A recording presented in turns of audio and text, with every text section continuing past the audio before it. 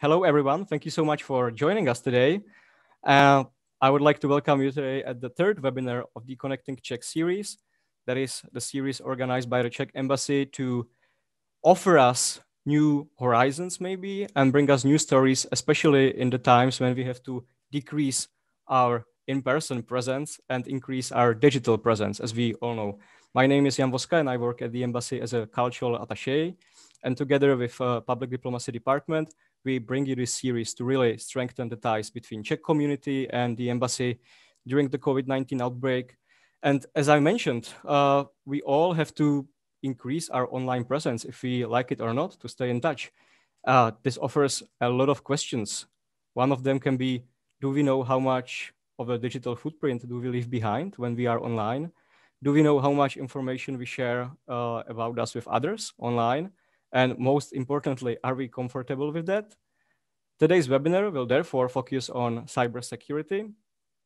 And I think we have an incredible guest speaker who will be our guide in the cyber world. So please allow me to welcome with us today, Daniel Bagge, cyber attaché from National Cyber and Information Security Agency. Dan, thank you so much for joining us today. Um, good morning, everyone. Uh, Jan, uh, thank you very much for having me. Uh, just one more question. Are there any housekeeping rules you want to mention before we start? Sure. Thank you, Dan. Thank you for asking. Yes, and I think that the participants that are uh, already regulars at the Connecting Czech series will already know. So as always, I will ask you to turn off your microphones unless you are speaking. As you know, this meeting is being recorded uh, for those who couldn't make it so they can watch later. And I believe that if you have any questions, it will be a very interactive talk. Uh, feel free to write any questions into the chat. Uh, and I believe Dan will also make Q&A session at the end of his talk. So uh, unless there are any other questions, Dan, take it away. The floor is yours. Uh, thank you very much, Jan. Um, thank you, everybody, for joining us today, uh, especially given the fact that it's morning, sometimes evening, somewhere, given all the time zones. I'm not quite sure what the, um, let's say, who's who, uh, who's preparing uh, to speak or to write, but I would like to ask you to uh, write down your questions immediately as they pop up in your head, because sometimes I can be carried away and I might forget uh, to answer them. So just like feel free to write them in the chat so I can get to them later, or I will try to address them during the presentation if there is anything really pressing and burning. Uh, just a few words from the uh, from the beginning. the presentation is about personal cybersecurity, so it'll be more about how to protect yourself in cyberspace, how to actually approach cyberspace from the individual perspective. Uh, I won't be recommending any particular products, uh, and I will not be addressing, let's say, corporate cybersecurity, how to protect organizations. However, uh, as you might already know, the cybersecurity begins from the very and each user, and 95% of all cybersecurity incidents have some part in, uh, let's say, failing of users' behavior or mistakes done by users uh, inadvertently sometimes because of lack of knowledge sometimes. Uh, before we start, I would like just to say that uh, I'm very grateful for, for being here. Thank you for the invitation. I represent the National Cybersecurity Authority of the Czech Republic. I'm posted here to DC, and my main uh, portfolio is basically to liaise with the US federal government, academia, and private sector to all uh, cybersecurity matters. Uh, before we start with the with the dive in into cybersecurity on the personal level, I would like to mind you two things so you keep them in mind during the whole session. First is that nothing is for free. Absolutely nothing in the world is for free. So if you uh, think that basically your free mail, your social accounts, your social networks are for free, they're not. Um, you might jump to the conclusion that they are making money because of the advertisement. That's correct. However, the main gain for, uh, let's say, the providers of technology or services that you're using for free is basically your consumer behavior, your data, and basically I call it the digital oil, which is one of the most precious resources today, and gave the rise to all the big corporations. So keep this in mind every time you're using your social media accounts, you're using your free mails, being it Yahoo, Gmail, you name it, anyone, uh, you are the product. You are not using the product. Secondly, uh, what I would like to mind you is that everybody is a target. Uh, you might think that, well, I'm John from, from Minnesota or I'm Jan from Prague. I'm not important. I don't, you know, represent government. I don't work in, in biotech, whatever. Uh, that might be true, but still, you are a very welcome target. There are two types of targets uh, or attacks in cyberspace, discriminate and indiscriminate. The discriminate ones are focused on specific targets, such as diplomats or specific sets of data, for instance, to exfiltrate them. But then you have also indiscriminate attacks, and I will be talking about that later. And you might be actually falling for them through ransomware campaigns, where the attackers don't really care who you are or who you work for, but the simple fact that you are a user, you have an account somewhere, you create data, you have your own devices, makes you a target through, for instance, ransomware campaigns, where they really don't care who they hit. So this, again, is very important to bear in mind when I'll be talking about some of the steps you can make to, to strengthen your cybersecurity, not to dismiss it like, well, I'm not important. This does not pertain my activities in cyberspace. This is utterly wrong. And again, uh, you're all members of families, and someone in your family might actually be um, a target of discriminate attack and you might unknowingly mm, give access to somebody's of your home local network by not keeping the Wi-Fi properly secured and thus compromising the device of the person who is working on something interesting to the attackers. Um, this is not far-fetched. Uh, we have seen incidents like that, but uh, without further ado, I would like to start. So why is it important to have sessions like this? As I mentioned at the very beginning, uh, basically 95% of all cybersecurity incidents have some degree of involvement by the user itself himself. Uh, the reason for that, there is like lack of knowledge, lack of understanding, uh, not necessarily only on the side of the users, but sometimes also on the side of the, let's say, providers of the technology or the services, when they simply assume that the user is knowledgeable or they don't give user enough, you know, control of the devices which might be the case of Internet of Things, for instance. So there are two um, paradigms that we should take into account today. So to make more secure cyberspace or your, you know, moving in cyberspace is more secure, you have to have your environment secure and your behavior has also to be secure. And you can achieve that by simple steps, which we are going to cover today. So I would like to cover four aspects of cybersecurity. One is physical security, one is uh, the criteria for security, security of the devices, web and communication. And if we have time, I would like to address also the threats, so you might know what you're facing, um, aside from the headlines you might be reading recently. So with physical security, uh, what, what, happens when, when physical security is breached? Somebody has access to your data, plain and simple. Somebody who is not supposed to have access to the data.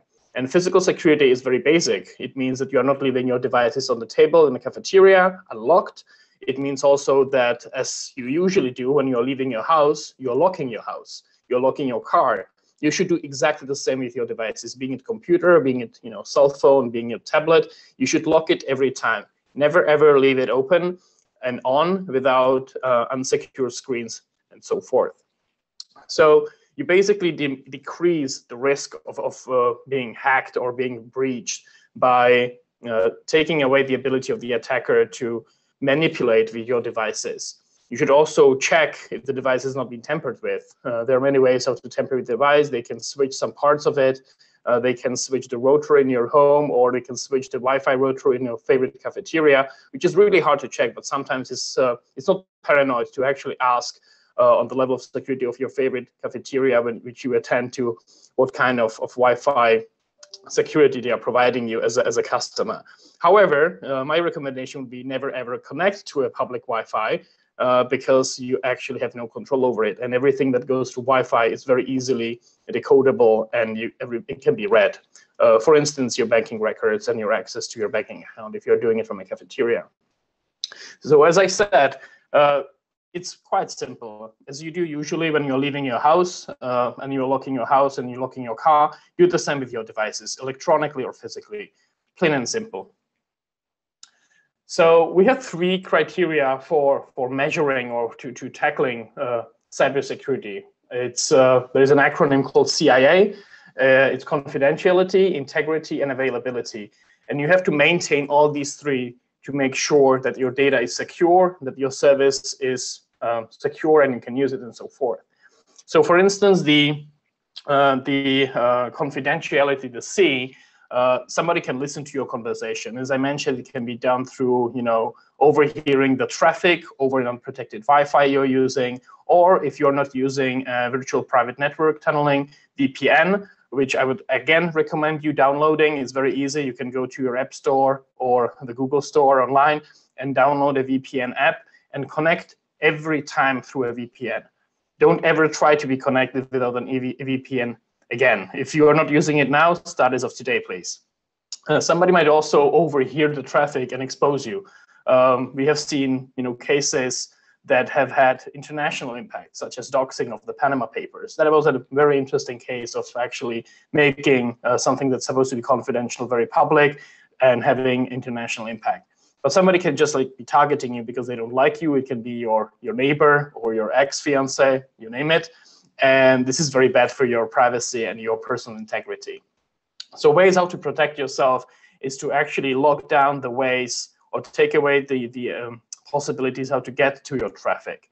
So lock away the you know accounts that are not supposed to have access to your um, let's say online um, let's say Google Drives for instance. You should be very careful to whom and to when and how you send your data. And this again can be tackled by not using uh, public Wi-Fi's, using VPNs and so forth. And also you should um, prefer ways of communications that are fully encrypted. And by fully encrypted, I don't mean only that you are encrypting your data on your device, which you, you should be doing, but you should also be using communication channels that are encrypted end to end. Um, there are many apps allowing that. Uh, I said I won't be promoting any of them, but I can mention, for instance, Signal, which is a nonprofit um, effort. Uh, it's um, it's financed from grants, but there are also, of course, paid uh, paid paid, let's say, services you can use for end-to-end encryption. And I would definitely recommend you using that. Again, uh, it's not only about the uh, traffic and the communication that can be breached, it's also the data you give away by using the devices. So for instance, when we are talking about Facebook and Facebook Messenger, yes, there is some level of encryption that's uh, end-to-end. -end. But again, when you're using social network like that, you're also giving away so much more information about your behavior, your location, your age, your preferences, you name it the whole business model is based on that. And your intention is to, if you have to use that, and if you want to use that, make it easier uh, for yourself or make be more easy on yourself when it comes to cybersecurity in a way that you're taking away the possibilities for the potential attackers to just like sniff your network and take away the, the traffic. So the second is integrity. Uh, so somebody can, you know, manipulate with your files, with your data. Uh, somebody can also manipulate the data that you are sending out. Uh, there are many cases, again, when people have sent out something and it was manipulated on the way and somebody, something else landed somewhere. Uh, sometimes it's used for disinformation campaigns and when somebody's like, you know, catching the emails and manipulating them or doxing them afterwards. Uh, ways how to protect yourself if you would like to ensure integrity of your data. You have to authenticate, uh, authenticate sorry, the, the content and the communication sites. This can be done by encryption, uh, by virtual handshakes. Uh, you can also use um, you know, controlled and, and secured communication channels again. Integrity is very important. For instance, I can give you an example. Imagine that you are a federal government and you're responsible for keeping records of your citizens and somebody actually breaks in and change the records. That's a pretty big problem for various reasons. And the integrity here has been breached. It's not about availability or confidentiality, but you cannot trust the data anymore, which is a big problem. And last, uh, the availability. Uh, this might be more important to people that actually have to have access to the data 24-7.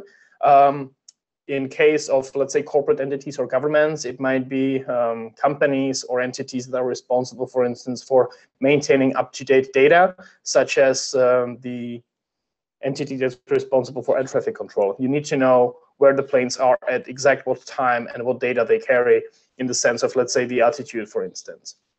So when it comes to availability and, and to your personal uh, perspective to it, you want to have access to your data, right? It means very basic stuff from your family photos to your academic work that you have to access when you're writing your thesis and stuff like that. And this, again, is a vector for potential attackers. There are ransomware campaigns that are specifically aimed at um, unsuspecting citizens, and it's an indiscriminate attack, basically encrypting their whole devices and taking away the availability um, aspect of, of cybersecurity, because then you're of course willing to pay, and this is the business model they're they are pursuing. So the ways how to secure yourself or like to protect you better when it comes to the availability, you have to have very strong authentication. Uh, you have to have uh, backups and backups that are not usually just like lined through network real time because the ransomware campaigns are known to crawl through the networks and actually encrypt even the backups. So they have to be physically dislocated. Uh, you have to have also backup devices uh, because if somebody takes away your device and uh, you don't have access to the data, and you even have a device next to you to be able to access the data or fix it, then you're basically toast. And again, uh, and I mentioned it already, backup, backup, backup all the time. But now for something more specific. So the authentication. Um, there are basically three uh, aspects to it again. One is based on knowledge, which you might uh, imagine is a password. What do you know? Then what do you have? That's usually a token. And the third one is who I am, which is biometrics.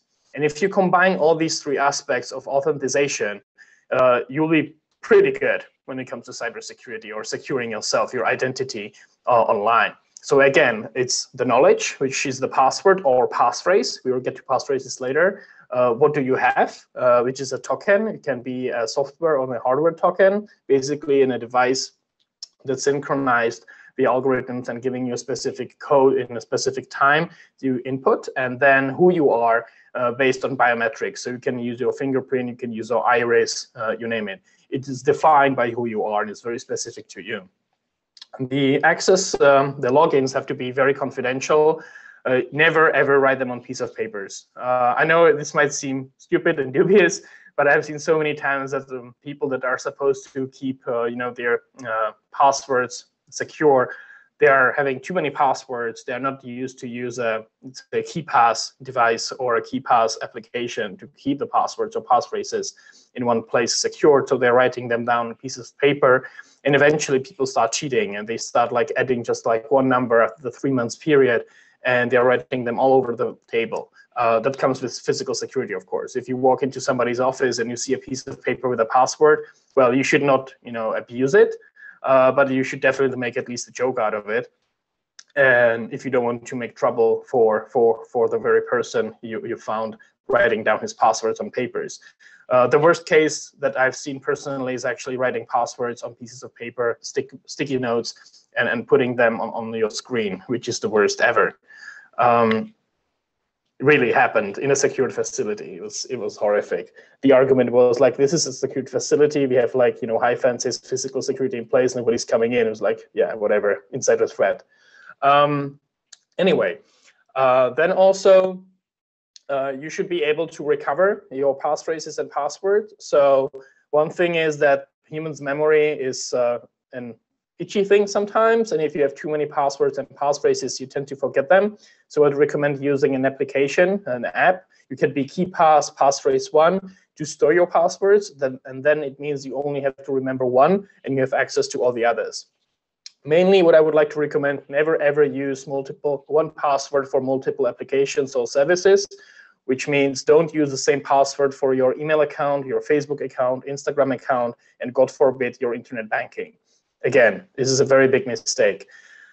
It may be obvious, but it's not. And also, do not change the passwords based on the service you use. So if you have like, you know, one master password that you think that's unbreakable, and then you just like add the title of the service you're using at the end of the password, that's a big no-no as well.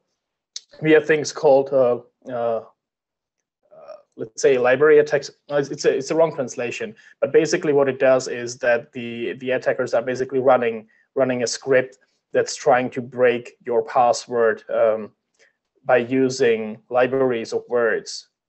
And eventually they are very successful if you use something like super strong password 125 Facebook for Facebook or super strong password 125 Instagram for Instagram.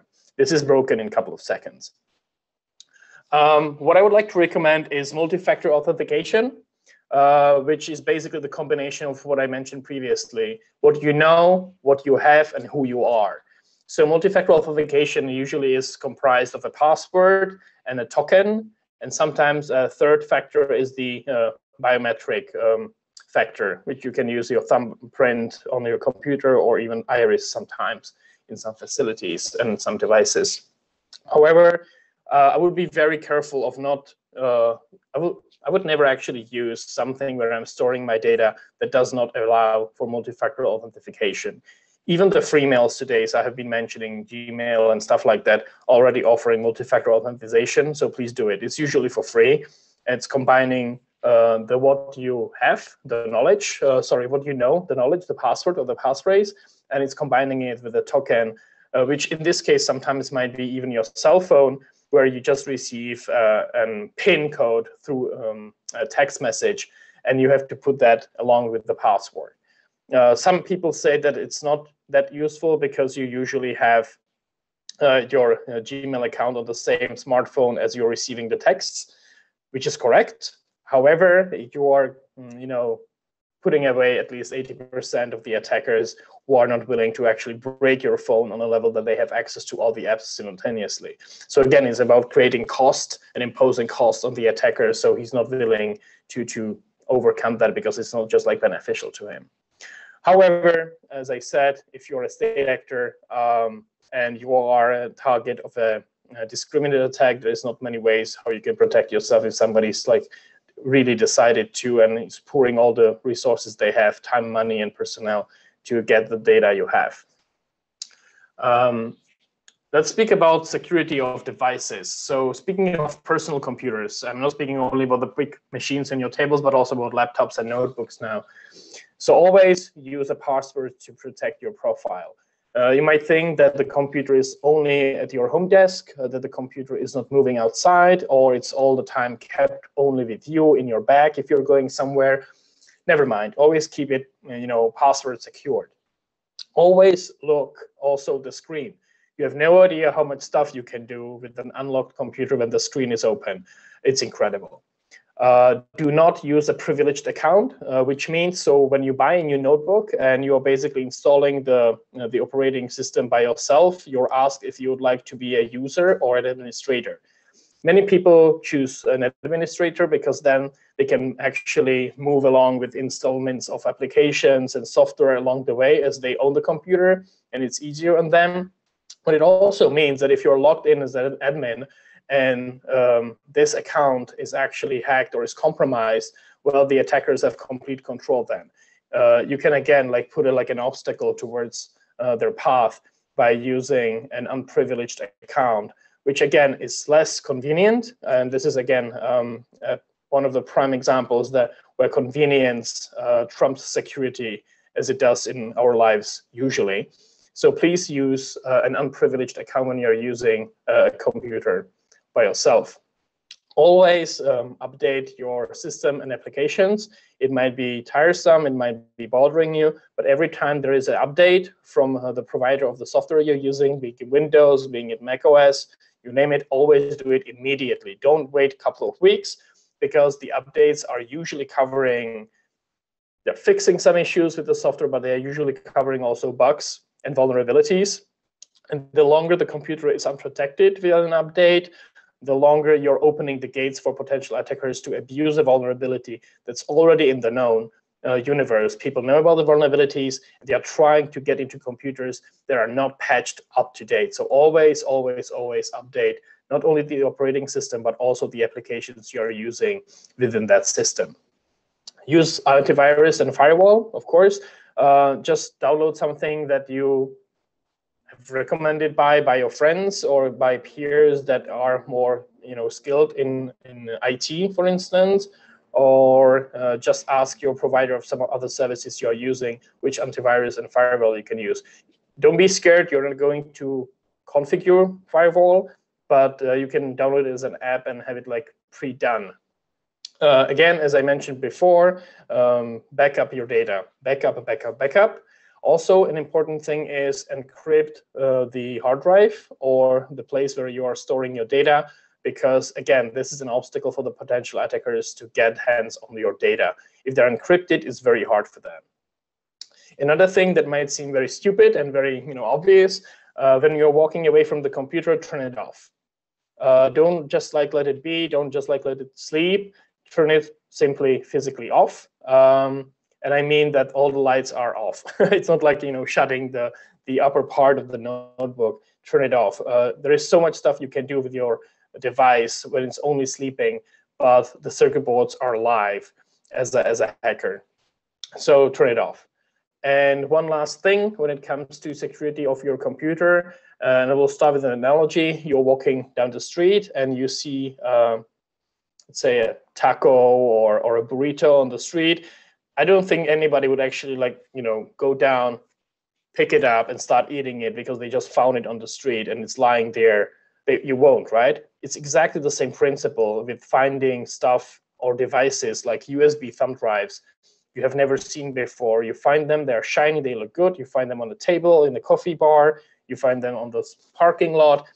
Do not ever put them in your computer as you would never put something you found on your street in your mouth. It's exactly the same principle. You'd be surprised how many very, very cleverly designed cybersecurity campaigns in the past started with a simple move of people walking down to a parking lot of a company where they wanted to get a breach into that company and just like tossed USB drives around the cars. There's always one stupid person who walks down and sees, oh, this is a nice thumb drive, picks it up, and then inserts it because they are curious what's on it and it looks pretty good and shiny. It's a high quality thumb drive. Why would I leave it here? Don't ever do that. Uh, another vector of using a thumb drive of unknown origin was actually uh, of these, you know, expos and computer, uh, you know, conferences when you're receiving uh, devices for free uh, and you're receiving if you walk from uh, from let's say one company to another you can collect 10 to 15 thumb drives a day which might look pretty cool. You might give it to your kids. Don't do that. The kids will eventually put it into your computer and they can completely compromise it because this is a very welcome vector by potential attackers. Sometimes state uh, um, state actors that are trying to sneak into systems. Well, you might again come with a counter argument saying, well, how do they know that I'm going to input it in my computer?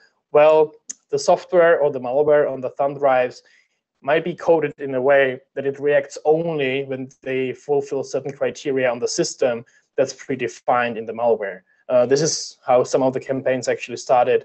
And it's a discriminate indiscriminate attack. You basically take 100 thumb drives, put a malware on it, and the malware knows that it has to strike only under one certain condition.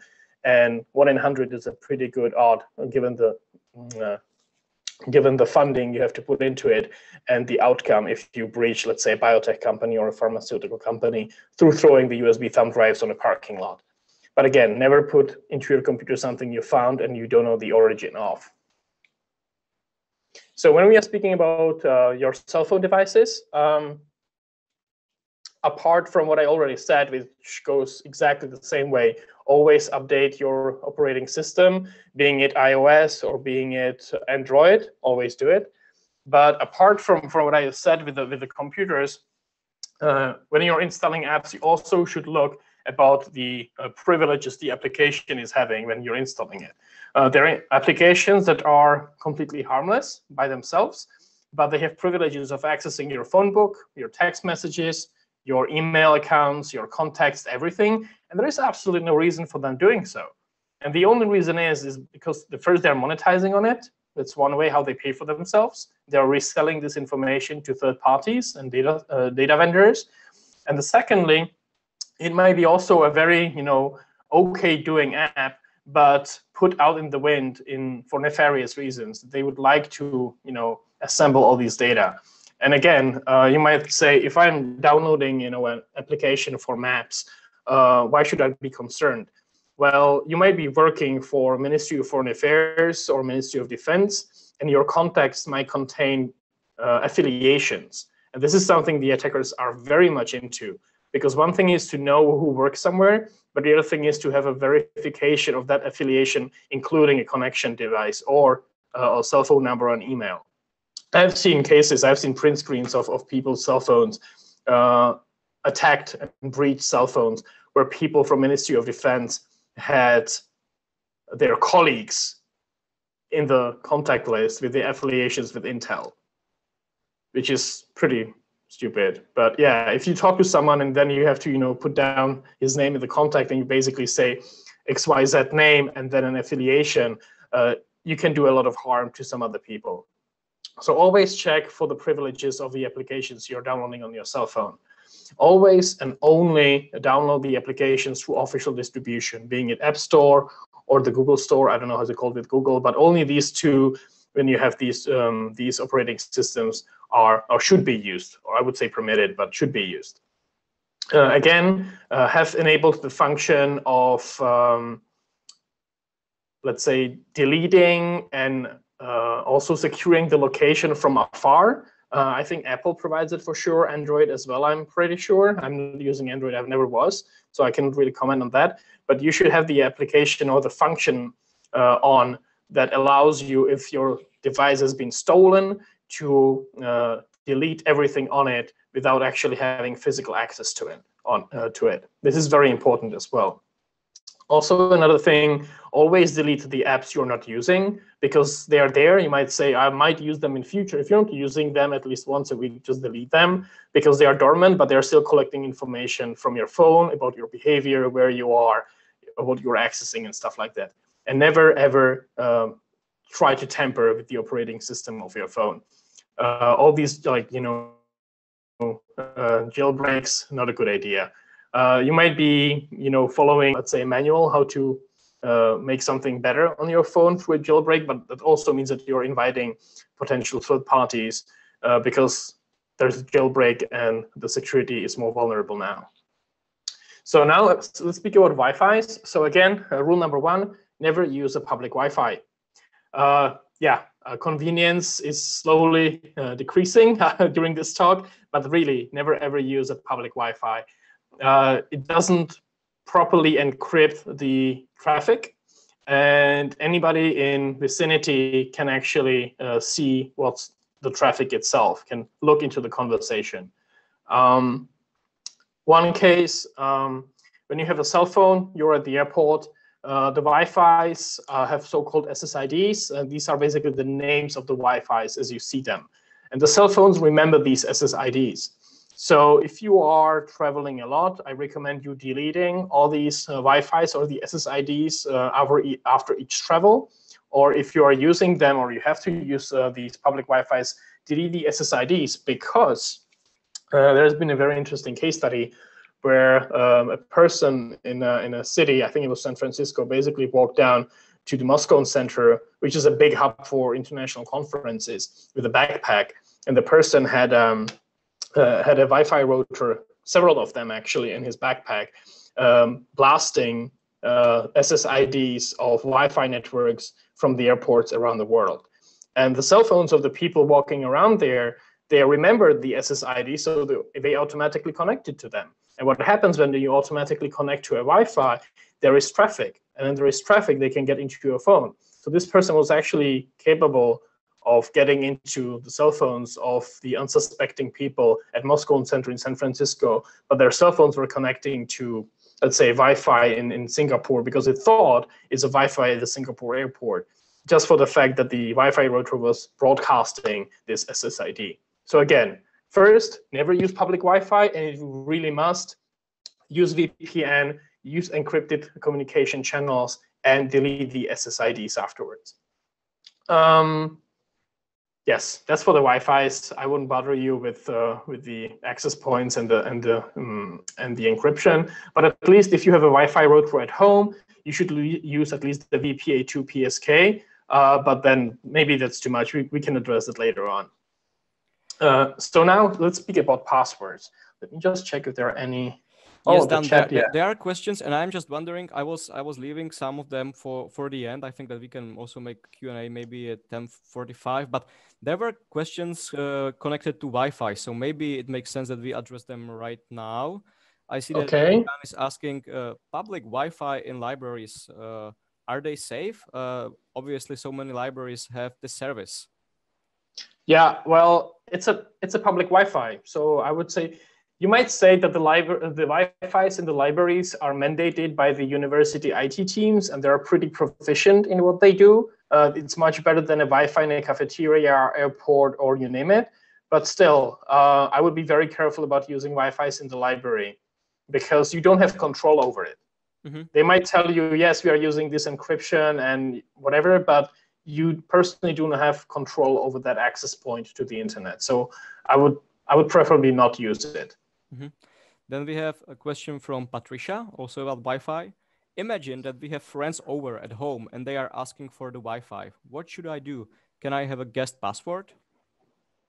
Yes. Uh, yeah. If, if they're willing to use your Wi-Fi, then why not? If you trust them and they trust you. Um, yes, you can give them a guest password, or what's even better, um, many many routers today already offer an app on your cell phone, so you can actually allow them to be connected for the time being. And when they leave, uh, you basically uh, delete uh, their device from the trusted devices on the Wi-Fi network. It's a very simple app uh, for many of the routers on the market right now. But yes, this is the way how you can do it. Perfect. I think that we are right now done with the Wi-Fi's, and then we have uh, several questions about uh, passwords and also smartphone settings. So I'm not sure if you want to get to them now or at the end. Let me just uh, address the passwords now uh, from my side, and if I do not cover it, um, if I don't cover the questions, we will get back to the questions. So when, when you create a password, uh, it has to be rememberable, uh, but not guessable. Uh, what does it mean? Uh, you have basically two kinds of ways how to create secure strings of letters to protect you. One is a password. It's basically a nonsensical string of letters and numbers, or you can use so-called unique passphrase. Um, the passwords used to be trendy in the past, but the problem is with so many services you're using, it's pretty hard to remember all the passwords and people start to cheat and they start to make stupid passwords that are made up but are guessable, which goes against the whole you know, reason of having a password. So the trend now is actually going with the passphrase. The passphrase is uh, equally uh, difficult to guess, but it's much easier for you and you only to remember. So I will give you a passphrase which doesn't make sense. You can say that a black monkey jumped over the moon, which again doesn't make really sense, but mentally um, or cognitively speaking, it's easier to remember this nonsensical, nonsensical sentence than remembering a nonsensical string of numbers, characters, and letters. So I would recommend using a passphrase instead of a password. But if you have many passwords and you're pretty keen on keeping them, uh, just use a, a, a KeePass solution, which is an application where you use uh, a master password. And in this case, you can use a passphrase. Uh, they should be at least 12 uh, characters long. Uh, I mean, passwords or passphrases. Uh, and again, as I mentioned at the very beginning, don't ever use the same password or passphrase for multiple services. This is the worst thing you can do. Uh, if you use it for Flickr, uh, and then the attacker tries it on your Gmail, where you're basically toast because all of the other services have some affiliation with Gmail. It's basically, or may, most of the time, your Gmail account or Yahoo account or your personal email is the backup email. So once they have gained access to your backup email, they can basically lock you out of all the services and take them over. So really keep in mind that when you are having a you know backup email or your main email that's used as a backup email, which is also a no-no, but many people do it, have a very strong password that's not being used anywhere else. Uh, if you have the slightest, um, if you feel that your password has been compromised or somebody is being in, you know, trying to get into your account, change it, your password immediately. However, always do it through official channels through the way how you should do it, through settings in your email. Never ever click on links asking you to change your password or a passphrase. They might look very realistic, but it's usually a problem. The, the, um, the probability that it might be a, a phishing attempt uh, or spear phishing attempt is too high to risk it. So if it's not too inconvenient, log into your um, service through a different device and go through the proper channels, clicking on settings and then changing it manually instead of clicking on a link that somebody might have sent you to change your password because it might take you to another website uh, that's compromising your, your device or service or platform even. Um, again, as I mentioned, uh, consider using, um, let's say, password manager. I recommended KeePass. There are many of them out there. Uh, it really depends on what you are willing to use, if you're willing to pay for it or not. There are some free um, that are provided by, by uh, foundations or paid for by grants or, or universities even. But I would go with the with a paid uh, paid solution. It can save you a lot of money and a lot of headache afterwards. So this was regarding the passwords. Um, so we can look into the questions if uh, there are some I have not addressed yet. Uh, there was one connected to Apple generated passwords. I think that you are an Apple user, so uh, yeah. if you recommend it or not. Well, it depends. If it's for a service or um, uh, or if it's for a service that I'm not going to use frequently and it's a one-time off, why not? Otherwise, I like to keep tabs on the passphrases I choose myself. For the simple reason, I might lose my device, my Apple phone, and then I cannot get into the service or the yeah into the service because the Apple generated password is in my device. So if I'm logging into let's say a one-time shopping uh, engagement with, with an online shop uh, online store, why not use an Apple generated um, password? I would go with that. They're credible. But if it's a service I'm going to use across platforms and across devices, I would like to keep it uh, to keep it to myself and have my own passphrase or password. But yeah, in short, uh, you can trust the the Apple generated passwords. Yeah. Perfect. Thank you, Dan. That was the passwords. Then we also have a question about smartphone settings in general. I'm not sure if you want to get to it now or later. Oh, we can do it now. Um, so Patricia is asking, what would you recommend not to do with your smartphone settings? Voice recognition, biometrics, uh, etc.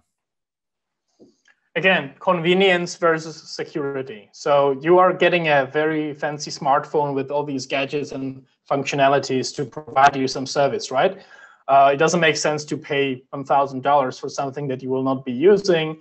So, and again, if you paid for it, you're prone to using it. I would be very careful about using some of the services there because you're again giving away so much data about yourself, about your consumer behavior, your biometrics. Um, it's it's I think it's a personal choice how much you would like some anonymous corporation to know about you. You are basically the product. You are the way how they are making money, and they are reselling this kind of data to to so-called data vendors. Uh, there are companies that are actually creating your psychological profiles based on data harvested from the use of, of uh, smart devices or personal communication devices. Um, it's a big business. Uh, you might want to be part of it, uh, but you have to be aware that you're basically giving away some of your individuality uh, because the way how you perform and how, what you do online can be measured, quantified, and sold. Um, my personal, my, my personal my personal perspective on this is uh, I am not using many of the services provided uh, by my Apple phone, my iPhone, uh, because despite the fact that I think that iPhones are pretty well secured and Apple takes care of privacy of its users to a certain extent, um, I'm just not willing to provide this kind of data about myself uh, to a corporation or somebody, a third party whom I actually buy it in a bundle. Got it.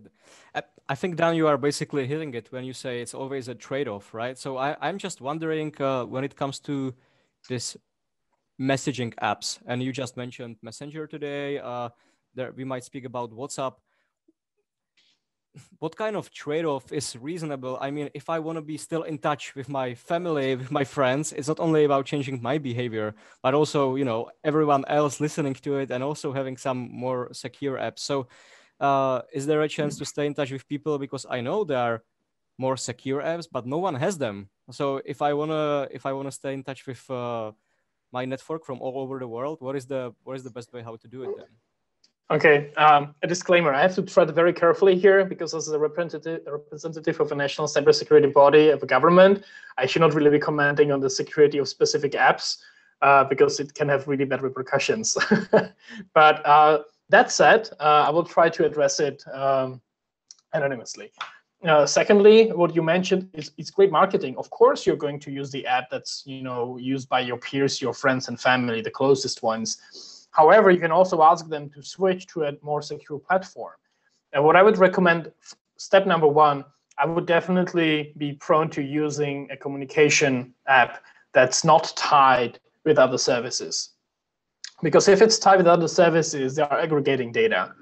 Uh, they might not necessarily have access to the very words you are sending, but if it's tied to your profile somewhere, they can make some really interesting magic about your behavior. When are you writing to whom? How long for? From where? What are you doing during to uh, during it? And what are you looking during uh, using that app? These are very valuable data that are used for various reasons. Um, so if I can recommend anything, I would go with a, with an app with a communication channel that's not affiliated or, God forbid, integrated uh, into into other services. Uh, I already mentioned Signal, for instance. I can speak of that. I'm using it privately. Uh, it's not affiliated with with anybody else. Uh, it's very very secure. There are others out there uh, on the market you can actually pay for, such as Threema, which is European. Also, to bear in mind is the level of privacy protection laws uh, of uh, the country where the company that's providing this solution is um, actually seated, where they work from. Uh, because data privacy laws are very important in protecting your personal privacy. Um, that meaning that the um, uh, the company that's actually getting all your data from your use of their service cannot make uh, money freely, absolutely, with that. Uh, so in my opinion, I, I, prefer European companies because the uh, data privacy security laws are a little bit more stricter and generous towards the user than, than the companies elsewhere, not to name. Um, I'm seeing WhatsApp apps. Is it safe to send audios for friends, families? Can they be easily hacked? It's not about hacking them, uh, but again, uh, I don't want to sound paranoid. But if I told you five years ago how much involved we'll be with cyberspace today, and it will basically push everyone to move there, and how much identifiable data we'll be generating by our every move in cyberspace, you will be, you know, that's no, not really. Some people might see it, but majority of the society will be like, no, you're crazy. Uh, I can tell you now with this analogy that sending audio messages over, uh, let's say, these applications actually allow um, for creating libraries of uh, voice patterns and also generating uh, large libraries for, let's say, artificial intelligence to learn on the data. One of the reasons the big companies are actually aggregating so much data is not only because of the advertisement and because of creating some consumer behavior modeling they can sell, but it's also the more data you have, uh, the better, uh, let's say, algorithms you're able to train uh, for instance, for machine learning and artificial intelligence. Because artificial intelligence and machine learning, you can have the best written algorithms in the world, but if you do not have sufficient data to train them on, they're going to be underdeveloped, to put it that way. It's like a child. If a child does not have enough inputs uh, from outside, you know, through parents, school, you name it, it's, it's not going to be you know, properly developed cognitively. The same goes with AI and machine learning. The more data you can, you can push into the algorithmization, uh, the better for you. So I'll be very careful about submitting different kinds of data. So far, we have been talking mainly about visual uh, data or, or let's say data that we create by our behavior or what we write. But we are providing a different kind of data now by sending so many audio messages that are recording our voices. And can, this can be abused in many, many ways. I don't have to go in future. I can actually go into history and say that uh, the science fiction and spy movies from the past when somebody was impersonating someone by using their voice, they're not very far fetched. Hmm. I think that now when you are speaking about some threats, and you were you have been speaking about them throughout the presentation today. Uh, we have a lot of people here today with us who are well, we all, all of us we are acting in our private capacity, and then we are mm, working somewhere, and we might be also volunteering in some organization. So let's say there are three different levels. Can you maybe make a list of what is the most common everyday threat for for me as a private person? Like, is it is it the threat that someone will basically steal my steal money from my bank account because, without me even noticing? Is it someone stealing my mm, online identity to to start some other business, or is it someone uh, collecting my information to blackmail me after? Uh, and then you can, if you have time for this, also touch up on the aspects how this is different from corporate perspective or institutional perspective. Okay, uh, I would say all of the above. Basically, what you described uh, as, as a, on, on a personal, on the individual level, is uh, in the toolbox of indiscriminate attacks.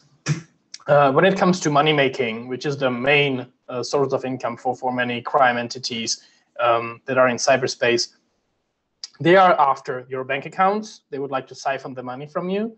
They are after your online identity. So they are trying to take over your online identity or reselling your personal data, your health records, your other records, for instance, your banking records, your credit card information, and stuff like that. This is easily tradable online uh, you can buy a, a, bundle of let's say 20,000 identities with their credit cards numbers for for some money and then just like use it and usually people tend to block them but some people may not block their stolen identities or stolen credit cards or or uh, login information. So you you nailed it pretty well. Uh, it's all of the above you mentioned. Uh, for blackmail that's usually more targeted because you're not going to blackmail somebody that's well if you're blackmailing someone you already know his financial status you know where he works. If it really makes sense to you it's always about weighing the risks the pros and cons so blackmail is more targeted but i would like to touch upon the ransomware cases again which are very indiscriminate and they, they are they are very pervasive uh, dhs has having a very interesting campaign now called 3Rs, uh, I would recommend visiting the dhs.gov slash ransomware website. Uh, you have plenty of materials there to check it out. Um, and even my agency back home, we are also considering ransomware as one of the biggest threats for, for general, but not only general, also hospitals and, and all uh, important institutions are one of the threats they're facing for the simple reason. The only reason for the ransomware out there, or the main reason for it is money making. So if you click on the link and you get your, um, let's say, device encrypted and you don't have access, to, you're willing to pay. And in case of Yoyan, you might be willing to pay a couple of, I don't know, 100 bucks for your family photos, your data from past, your academic, you know, data, your work data, if it's your personal computer and you're working on it as an independent artist, for instance, uh, because of course you're not working as an MFA employee on your personal computer, right? Uh, but uh, imagine when the ransomware campaign hits a hospital and it basically encrypts the patient records. Well, then you are very much willing to deal with that. Um, it becomes a national security aspect, of, of course. Um, so ransomware is the thing that's targeting, let's say, individuals on the level of ordinary citizens, but it's also targeting government entities or hospitals or ministries of foreign affairs, defense, and stuff like that, because they know that people will be willing to pay. So this is one of the threat that's that's very pervasive, and it's actually threatening all of us. Thank you, thank you. I see that we have last five minutes. It's, it's incredible how the time flies, and uh, to be fair, I would like to give uh, first chance to our participants, of course, to ask some last questions if they if they have any. Uh, they can submit them right now into a chat. But in the meantime, maybe uh, if you want us to leave this meeting today with some most important takeaways and really mm-hmm. like improve ourselves in something when it comes to cybersecurity, what are the top three things that we should take away from today's meeting? Okay, first, always use a VPN when you are connecting to the internet. Always. Never mind if you are outside, if you are at home, download a VPN app or client to your devices, computer and cell phones, cell phones included, and always use that when you're connecting to the internet. Imagine it as it's like locking your apartment when you're leaving for a one week vacation.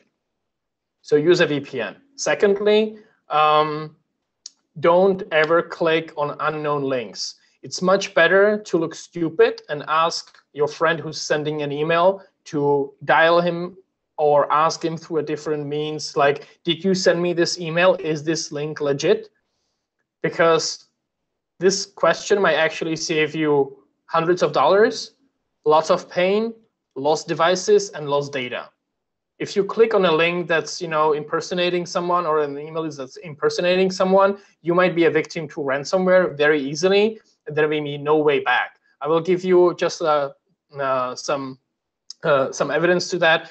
Even if you decide to pay the ransom, it might be too late because ransomware campaigns are like vigorously targeted by law enforcement and even national security authorities. So when you pay, you're supposed to receive the encryption keys to decrypt your device, right? Your data. Somehow, sometimes it happens that the servers or let's say the storage online where these um, decryption keys are stored by the uh, by the criminals are being taken down down by law enforcement for the sole reason that they would like to disrupt the money making chain they don't want people paying them because then they're going to motivate the attackers even more they're going to basically funnel money into this crime business so even though you might decide to pay for the ransom, you have paid for the ransom, there is like no guarantee you'll receive the decryption keys because it might be taken down by law enforcement by then. So reversing, it's better to look stupid and ask twice if somebody really sent you a link or an attachment um, than actually opening it just because you trust the person or you trust the email where it's coming from. It's very easy to impersonate an email. I can do that in five minutes and it can look like White House. Thank you, thank you. And I see that we have uh, two questions, so I think that will be perfect to finish with them. We have a question from Maricielo uh, from Facebook, and she is asking us with banking applications. Uh, we are seeing now the way of entering into your account is through fingerprint. Do you believe this can also be bypassed by hackers in the future? Is this a secure login in your opinion, despite the convenience? That's, that's actually a very good question. So the fingerprint is not entirely replacing the usual way using a password and a, and a login, like a name, uh, an account name, and a, and a password, but it's going through, uh, it's going via the convenience route. So if somebody is locking you out of your account by, let's say, you're um, updating your app, you're usually not able to use the fingerprint immediately again. You are supposed to input the password and your, your account name or account number. Um, so there is still a way to get in without actually impersonating via the fingerprint. The fingerprint is used in a way that the bank does not have it. Your cell phone has it. And the bank is actually authenticating and verifying against the fingerprint and the biometrics in your phone. Uh, it's pretty hard to impersonate someone with biometrics, but it is not unheard of. But I would say the fingerprint is, how to put it gently, uh, fingerprint is, of course, much more convenient to log in into your bank accounts, and this is the reason why they're doing it. I will put it that way. It's making you feel that it's easier to gain access to your app uh, without actually having to remember all the passwords, passphrases, login details, and stuff, which makes you use the application more and go to the bank less uh, it's again a quid pro quo and then um, you know economic decision for, from their side. Um, biometrics themselves are always good only in combination with something. Hmm. So I would be careful about overusing biometrics mm-hmm. because they can be stolen as well. Thank you, thank you, Dan. And then the last question, and I think this is a nice uh, closing one. Uh, after you gave us a couple of suggestions, and if we want to educate ourselves a bit more, is there online uh, maybe your favorite list or that covers uh, some best uh, safety tips that you can recommend? Yeah, so I will, I will provide two, one in English and one in Czech. Uh, so first will be the DHS website, of course. If you look at dhs.gov, your Department of Homeland Security, or so-called CISA, the Cyber Information uh, and Infrastructure Security Agency within DHS, um, that's a very good resource and they have many materials for let's say ordinary users but also how to protect your networks. Uh, that's a that's a good resource and it's in english. Uh, the second one would be in czech for some of the uh, uh fellow czechs here uh, to, to practice czech if they want and also look what we are doing back home. And the website would be nukib uh, nukib.cz and there you can just find through the let's say publications. We even have an online learning uh, online learning platform there right now that's allowing a, an average user without any credentials. You don't need any password. It's for free to take a cybersecurity course uh, of ours. So I would recommend that as well. Perfect. Thank you for that. Well, and I think that this brought us to 11 at the dot. The time really flew by, and I hope that we really improved our uh, knowledge about personal cybersecurity. And if we did, and I personally did, I think everyone else did too, it's uh, mainly because of you, Daniel. So thank you so much for being our guest today. and for sharing your knowledge with us. It's my pleasure. And I'm just sending one last link for a video course of ours. So you might check, it's unfortunately only in Czech, but uh, you might use it as well. And it was great privilege, and I hope you enjoyed it. Thank you very much. Perfect. Thank you. And uh, I can also promise to everyone who joined us on Zoom that we will share the link for the recording with them. We will also publish the recording on Facebook. So if you want to recap anything uh, or enjoy the webinar once again, you will have a chance. Again, thank you for joining us. Thank you, Dan, for being our guest and have a good day. Pleasure. Have a good day, everybody. Bye.